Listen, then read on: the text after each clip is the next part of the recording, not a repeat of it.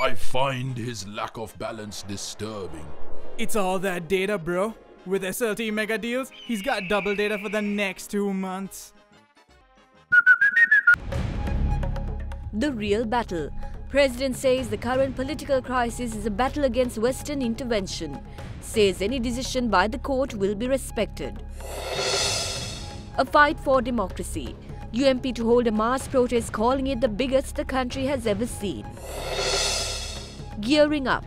UPFA parliamentarian Vasudeva says that the party is prepared to any eventuality post the court verdict. What if the judgment is in our favor? If the judgment is not in our favor, then how do we alternatively proceed? Peace must dawn. Archbishop Malcolm Cardinal Ranjit expects disputes in the country be eliminated soon. Beauty and glamour. Mexico's Vanessa de Leon crowned Miss World 2018. Miss World 2018 is Mexico.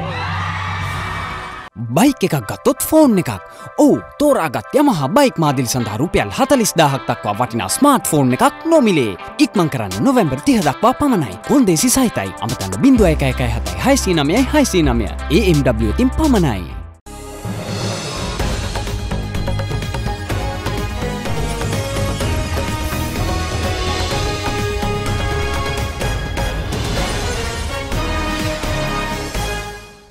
A very good evening and welcome to First at 9, Naladarana 24-7 Sri Lanka's news channel.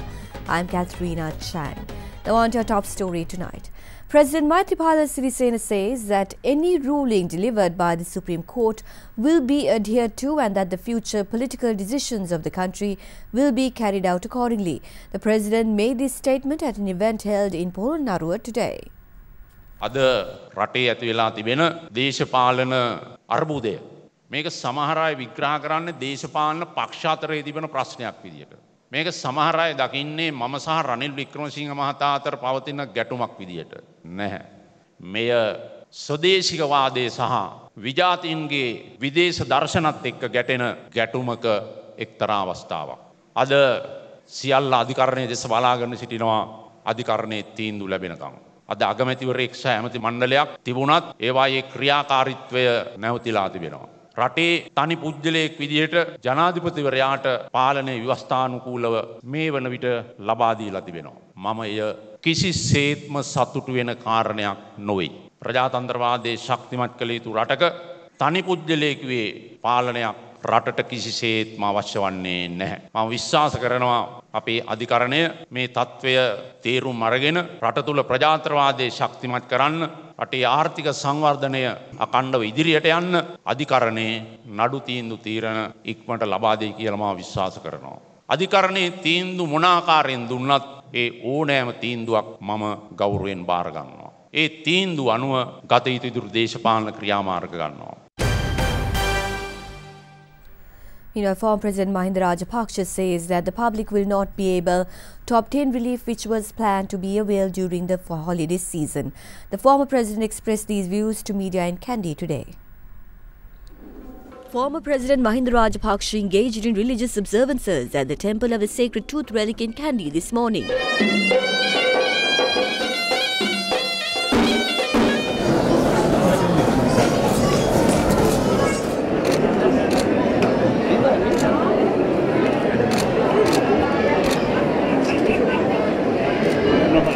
මෙලාතම මේ ජනතාව බොහෝදුරට කතා කරන දෙයක් තමයි මේ දේශපාලන නායකයන්ගේ බර අලක අරගලේ හේතුවෙන් මේ මේ රටේ ගොඩක් මේ ජනතාවට ප්‍රශ්න තියෙනවා මේ බලාරගලය ගැටලුවක් නෙවෙයි බොහොම පැහැදිලිව අපිට ඒක ඒක විසඳ ගන්න පුළුවන්. නමුත් ප්‍රශ්නේ තියෙන්නේ ඒක නිසා අධිකරණය මේකට මැදිහත් වීම තුලින් ඇති වෙලා තියෙන ගැටලුව. රටේ මිනිසුන්ට ලොකු ප්‍රශ්නයක්. මං සහන දෙන්න විශාල සහන රාශියක් දෙන්න බලාගෙන හිටියා ගෑස් එතකොට වී මිල වැඩි කරන්න සාතික මිල අනිකුත් බදු සහන ලබා දෙන වැඩපිළිවෙලක අපි සාකච්ඡා කරමින් හිටියේ මේ ගිය කැබිනට් එකේ. නමුත් ඒවා ඔක්කොම ජනතාවට අහිමි වුණා.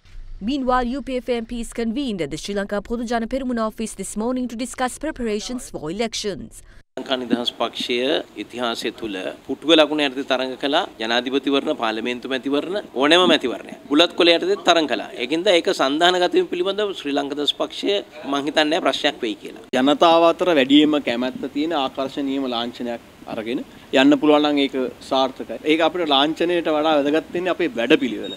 Meanwhile, top brass of the Sri Lanka Podujana Peramuna and senior parliamentarians held a special discussion at the official residence of the former president in Vijayarama last evening. The meeting was presided over by former President Mahinda Rajapaksha.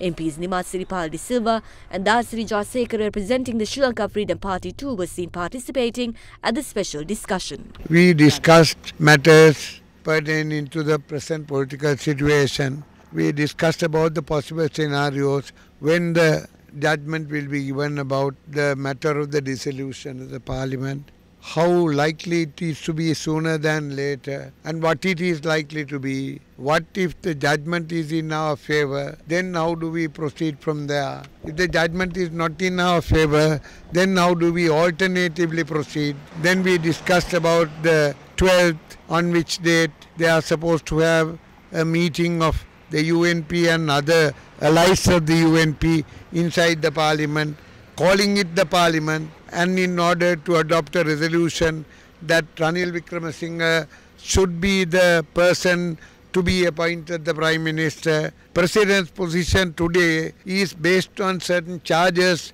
that have been leveled against Ranil Wickremesinghe. Therefore, the question of reconsidering his name is more unlikely to happen than happen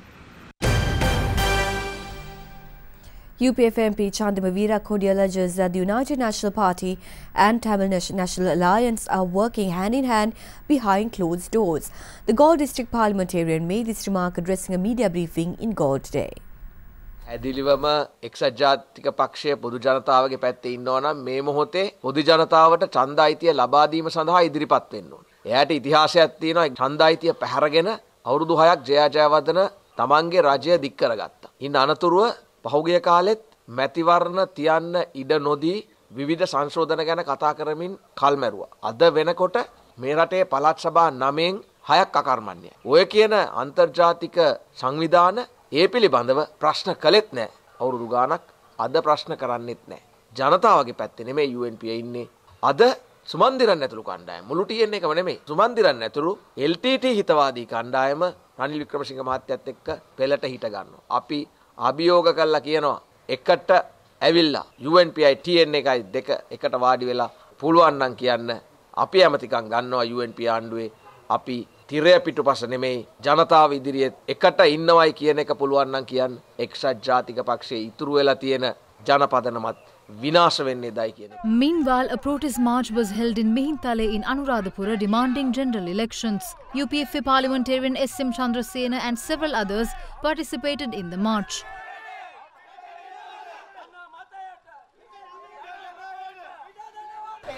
Another protest was held at Akkaravatta area in Anuradhapura led by UPFA MP Shehan Semasinghe.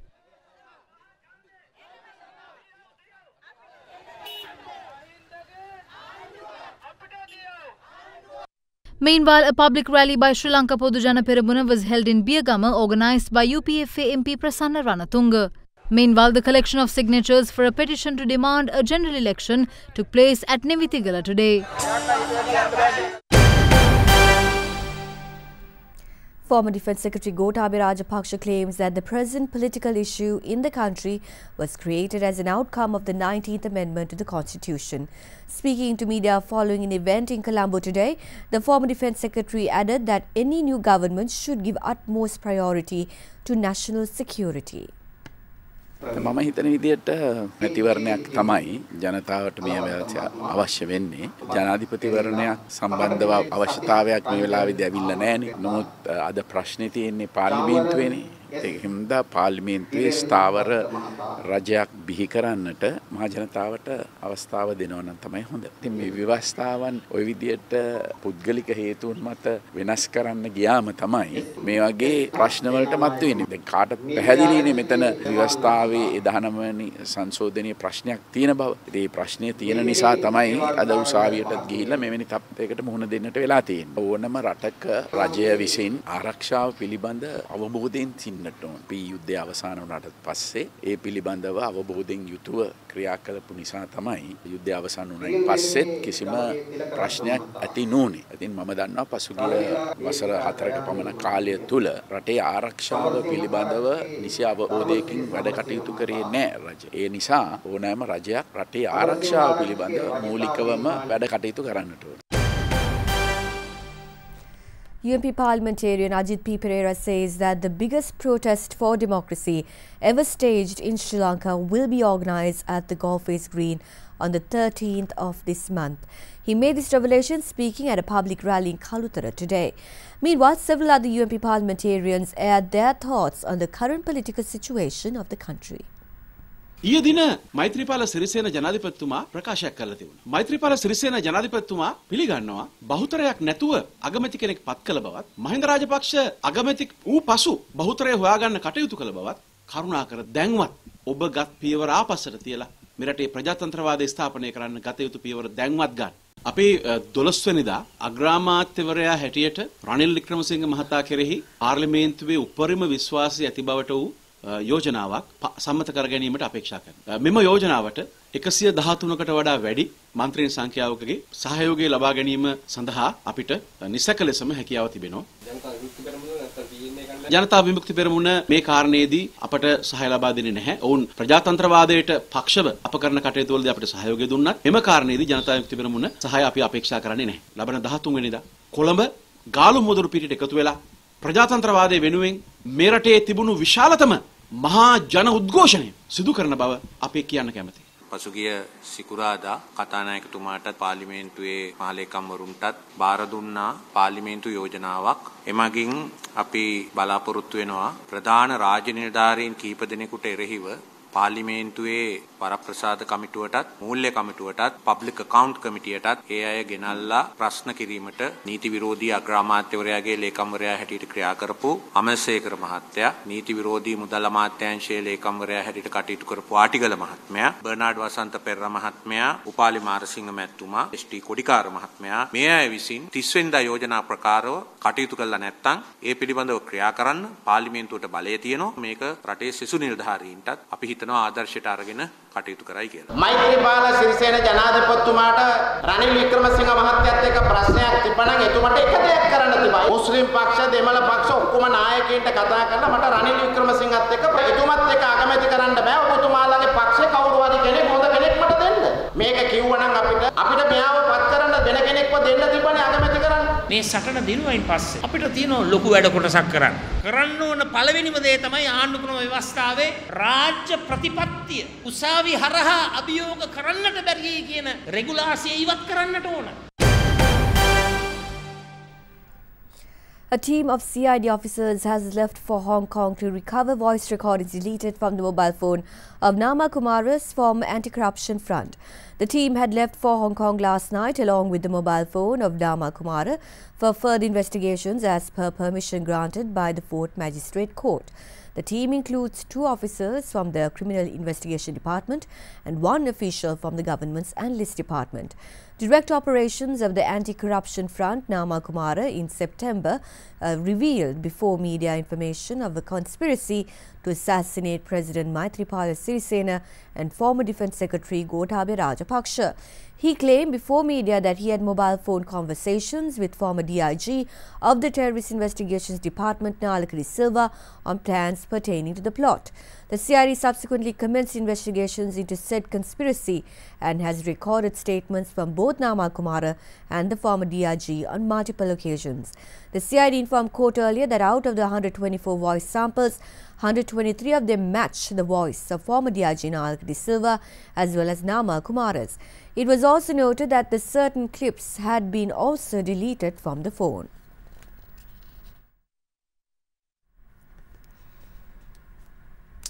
Meanwhile, Senior Superintendent of Police uh, W.S.E. Sundara has been appointed as the new Director of the Terrorism Investigation Department. He is also appointed the Director of the Ministry Coordination Division. Secretary of the National Police Commission, Saman Dissanayake, has said approval was granted for the appointment made by IGP Pujit Jayasundara with immediate effect. SSP Jayasundara has been appointed to fill the vacancy after the arrest of former Director of TID, Deputy Inspector General Nalaka De Silva, over the plot to assassinate President Maithripala Sirisena and former Defence Secretary Gotabaya Rajapaksa. WSE Jayasundara has previously served as the officer in charge of the Jaffna Police Division. Thereby, SSP UPAD KP Karunanayake has been appointed to the vacant post in Jaffna.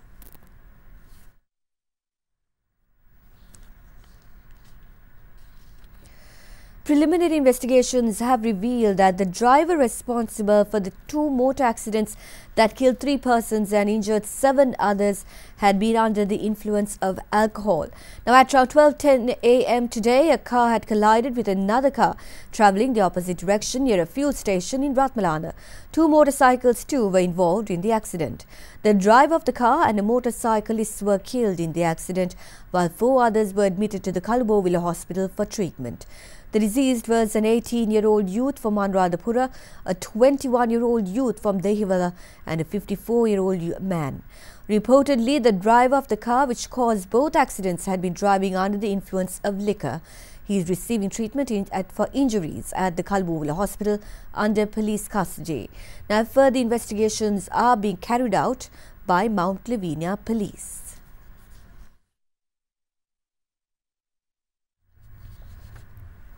Let's now take a look at some other stories making news across Sri Lanka.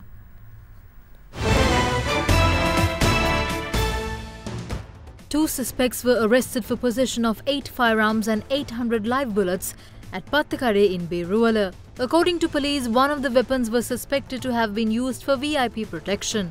Police are conducting further investigations to ascertain how the suspects came in possession of the stock of arms. A woman was arrested by Narammala police for physically abusing her two-year-old daughter. The suspect's neighbors had provided video footage of the incident to the police. The mother of the child was later produced before the Kuliyapitiya acting magistrate, following which she was remanded till the 12th of this month. Two vehicles met with an accident at the Kottawa highway entrance. CCTV footage of the incident was obtained in close proximity to the area. You are watching Sri Lanka's award winning news channel, Ada Derana 24 7.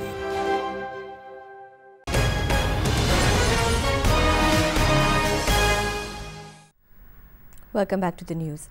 Archbishop of Colombo, His Eminence Malcolm Cardinal Ranjit is hopeful that disputes in the country over various reasons will be eliminated soon. He also expressed sentiment that peace will dawn in the country during this Christmas season. The Archbishop said this responding to questions by journalists during an event held at the Embassy of Palestine in Colombo. මනුෂ්‍යයට තියෙනවා ආත්ම ශක්තිය චිත්ත ශක්තිය ඒ වගේම ආගමික ආධ්‍යාත්මික ශක්තිය තියෙනවා මේ ඕනෑම ප්‍රශ්නයක් ප්‍රශ්නයකින් මනුෂ්‍යයන් වසේ හොඳට කල්පනා කරලා බලලා ඒවයි මිදෙන්නට ක්‍රම සහ විදි හොයාගන්නට පුළුවන්කම තියෙනවා. ඉතින් අපි මේ අනවශ්‍ය ප්‍රශ්න ඇතිකරගෙන එකිනෙකා සමග කුලල්කා ගැනීමට වඩා අපි ආධ්‍යාත්මික පැත්තෙන් කල්පනා කරලා කටයුතු කරන්න ඕනේ මේ හැම දෙයකදීම. අපි බලාපොරොත්තු වෙනවා එහෙම ආධ්‍යාත්මික කටයුතු හරහා මේ නත්තල් කාලයේදී ඒ අපි බලාපොරොත්තු වෙන සාමය සහ සාජීවනය රට තුළ ඇති වෙයි.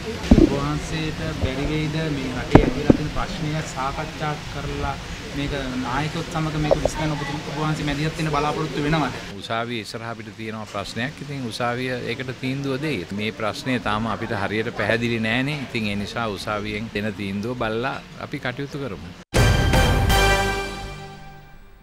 With less than a month for Christmas, the city of Colombo is slowly but surely preparing for the festive season. Christmas carols and lighting of the Christmas tree are one of the few traditions which are followed during the season. Shangri-La Hotel Colombo welcomed the festive cheer with the lighting of their Christmas tree. The ceremony was presided by former Sri Lanka cricket captain Kumar Sangakkara.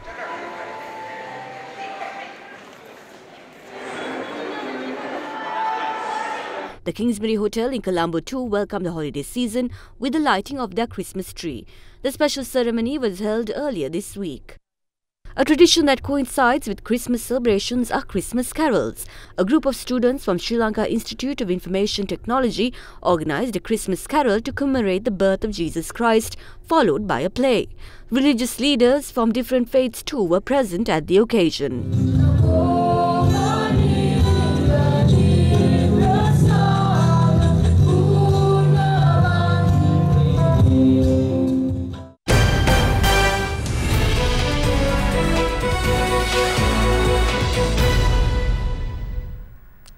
Analysts say that the participants in the bond market will be on a wait and see approach mode over the course of the new week, given the political deadlock.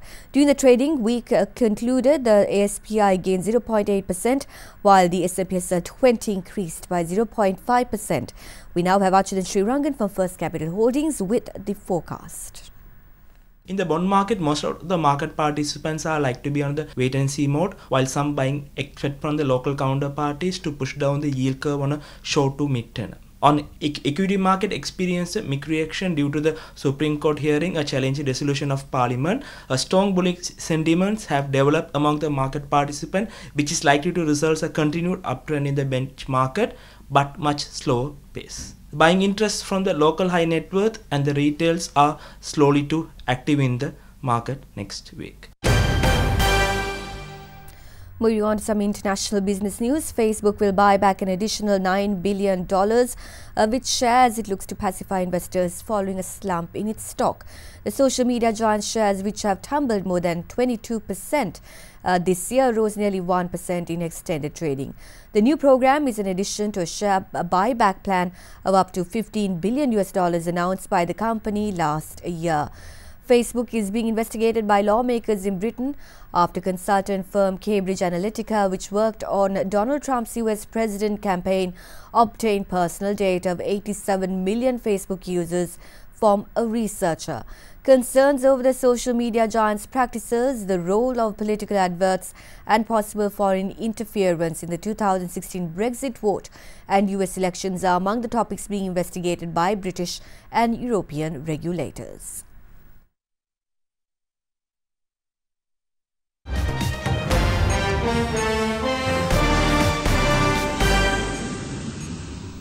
On to some international news now. French Prime Minister Edouard Philippe has vowed to restore national unity after violence broke out during a fourth consecutive weekend of protests. Police used tear gas and rubber bullets yesterday, the latest day of Yellow Vest demonstrations against a fuel tax rises and high living costs. French Interior Minister Christophe Castaner said 135 people were wounded in yesterday's protest across France. According to a spokesman for the Interior Ministry, 1,723 people were taken in for questioning and 1,220 were taken into custody. French Prime Minister Edouard Philippe asserted that discussions with peaceful protesters must continue. Philippe further added, quote, No tax should jeopardize our national unity. We must now rebuild that national unity through dialogue, through work and by coming together, unquote. The government this week cancelled a planned rise in taxes on petrol and diesel in a bid to defuse the situation but the protests have morphed into a broader anti-Macron rebellion. Now, China warned Canada today that there would be severe consequences if it did not immediately release Huawei Technologies chief financial officer, calling the case extremely nasty. Meng Wanzhou, Huawei's global chief financial officer, was arrested in Canada on the 1st of December and faces extradition to the United States, which alleges that she covered up her company's links to a firm that tried to sell equipment to Iran despite sanctions. The executive is a daughter of the founder of Huawei. If extradited to the United States, Meng would face charges of conspiracy to defraud multiple financial institutions. A Canadian court heard on Friday with a maximum sentence of 30 years of each charge. No decision was reached at the extradition hearing. After nearly six hours of arguments and counter-arguments, the hearing was adjourned until Monday. In a short statement, China's foreign ministry said that Vice Foreign Minister Li Yucheng has issued the warning to release Meng to Canada's ambassador in Beijing, summoning him to lodge a strong protest.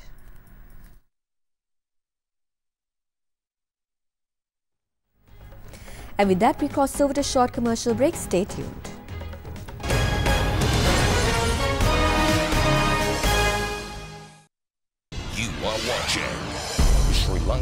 Premier news channel, Ada Derana 24 7.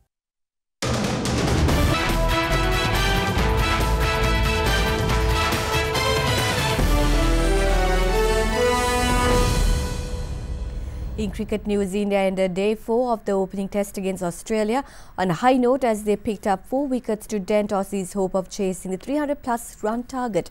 Resuming today's play, India posted 307 runs in their second innings, handing Australia a target of 323 runs. Resuming their innings on 150 for 3, India extended their total to 307 with brilliant knocks by Cheteshwar Pujara and Ajinkya Rahane. Rishabh Pant also pitched in with a quick-fire 28 runs. Over, and that's... There you go, there you go. Well played again. And he goes big, he connects with this. With another launch over to the leg side. This is huge. Three. Australia were off to a steady start, but Ravichandran Ashwin and Mohammad Shami picked up two apiece to send the Aussie top order packing. It's good from Finch, takes a big step to... Harris, edge Over the top, straight up in the air, will it fill in the gap? Australia reached 104 for 4 at stumps on day 4 with Shaun Marsh and Travis Head at the crease. Oh, he's got hold of it this time. Wow, flash.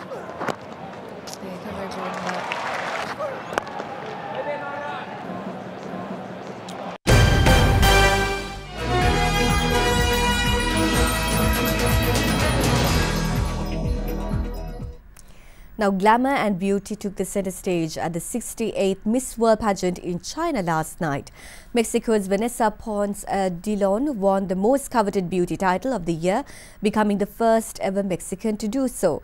Miss World 2017 Manushi Chhillar from India passed on the crown to the new title winner after she emerged victorious among 118 other hopefuls from around the world.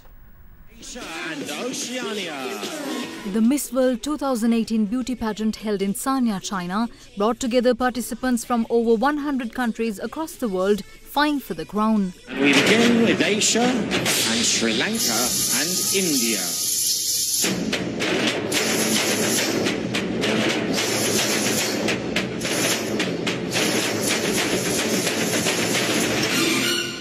Contestants from Thailand, Mexico, Belarus, Jamaica and Uganda emerged into the final round.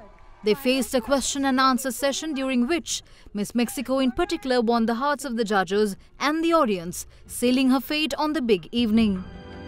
When I became Miss World, I was able to use my position to help many people. How would you use your influence as Miss World to help others? being an example. We all can be an example of good in the world. We all have to care. We all have to love. We all have to be kind. It don't cost a thing, and helping is not that hard.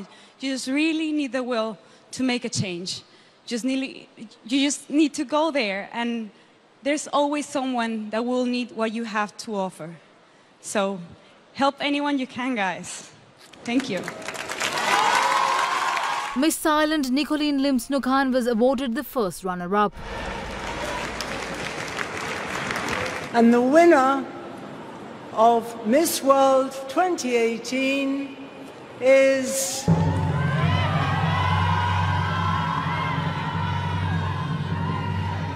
Mexico. Miss Mexico, a 26-year-old model who rose to fame in 2014 when she won reality competition TV show Mexico's Next Top Model, won the coveted title.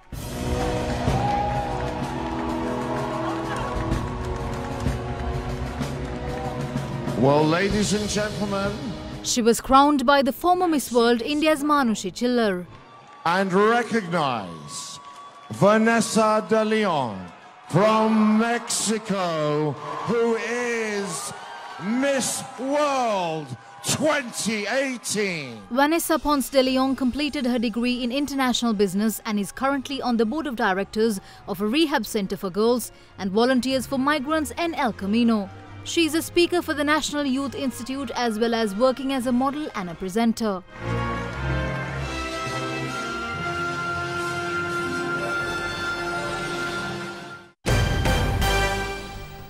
And with that, we conclude this edition of First at 9. Thank you for joining us and have a pleasant evening.